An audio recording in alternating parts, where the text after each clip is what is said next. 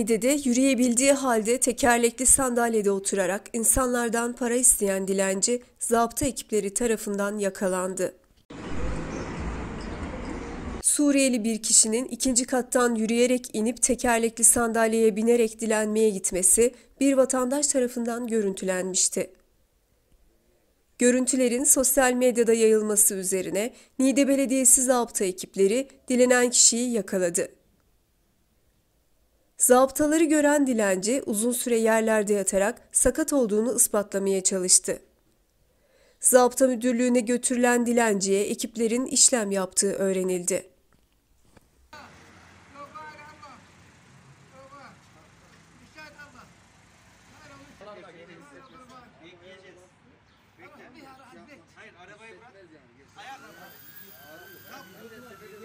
Bak dünkü videolarda, dünkü videolarda yürüdüğüm belli. Tamam mı? Hadi güzelce ayağa kalk. Hayır tövbe kurban müsaade Allah. Tamam ayağa kalk. Gel ben destek vereyim. sana. Nerede? Ayağa kalk. Gel. Tövbe. Bizim de ufacık bir yara var. Kendi çıkarıyor değil mi?